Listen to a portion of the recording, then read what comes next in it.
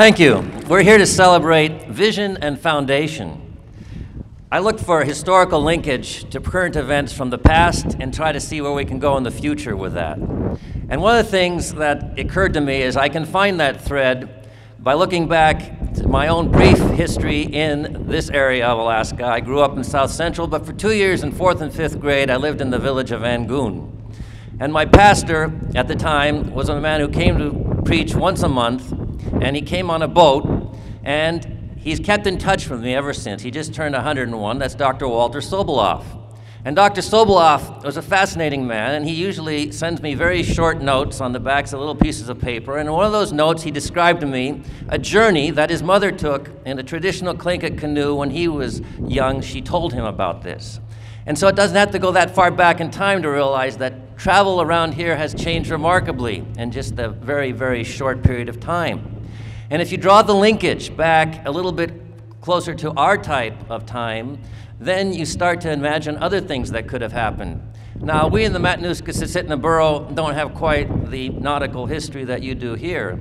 But if you went back to 1870 and made a, a vision of what it was like to travel here, and maybe there was a captain, and maybe his name was John Gore, and maybe he was traveling along in his boat one evening, and he looks out and he starts to dream of what the future might look like in terms of maritime advancements.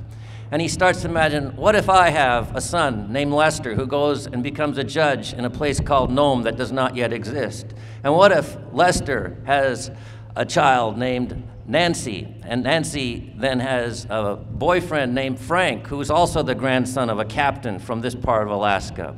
And they in turn have a daughter, and that somehow she becomes United States Senator for a state that does not yet exist. And what if that daughter then is part of a process that creates a boat that is so modern and out of this world it looks like a spaceship, and that that ship is then christened and sent to a place called the Matanuska Borough where Lisa's favorite mayor lives. and then he says, oh, I see a silhouette of a canoe, which might be Dr. Walter Soboleff's mother. And he starts to come back to reality and says, oh, that's all just imagination. It couldn't happen. And what if later on another young visionary growing up in Central California named maybe Sean is near a slough or an irrigation ditch somewhere in Central Valley of California with his crackerjack plastic toy boat, envisioning that this dirty irrigation ditch could be the inside passage of Alaska and he might one day be participating in the coronation of a new type of boat. And then, of course, that's so improbable as well. So it brings us forward. What can we learn from the past and, and try to project into the future? And we start to look at this boat and what it might mean and how different it is from what anyone else could imagine. And it brings us to uh, Sean might be thinking about that boat years from now, and how it might help his favorite mayor in the Matanuska Borough. But then there's another man named John Duffy, who is the manager of the Matanuska Borough today.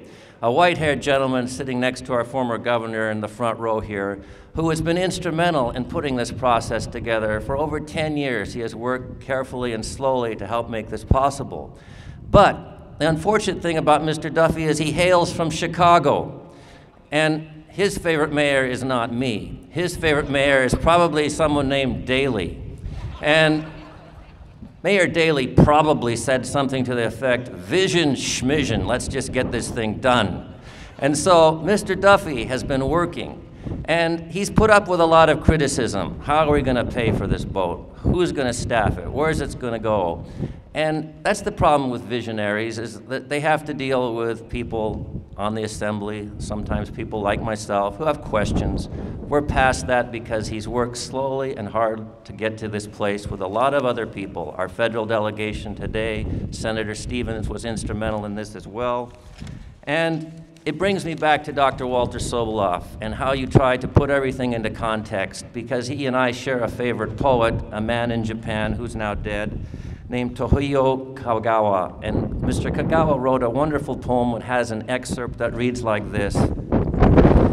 In times of quietness, our hearts should be like trees, lifting their branches to the sky to draw down strength which they will need to face the storms that will surely come. And it's times like this that are celebratory, but also times of quietness, where we can look at this and say, this is something incredible that's been put together by people like Senator Murkowski, Governor Parnell, Manager Duffy, and many, many other folks. And because the foundation has been slowly and firmly laid, we can move forward and get past the people who have criticisms or concerns and say, look, this is going to be something, so that in the future, if it's a success, we'll forget who really put it together because success will have a thousand fathers. If it fails, we'll all remember Mr. Duffy. But what will also happen is maybe Mrs. So, Mr. Dr. Soboleff's mother will be looking down and say, you know, I couldn't have imagined all those things, but they look wonderful. She might have some concerns about the little boy playing in the irrigation ditch, but this is a wonderful time, and thank you for letting me run with my imagination to help celebrate this wonderful creation. Thank you.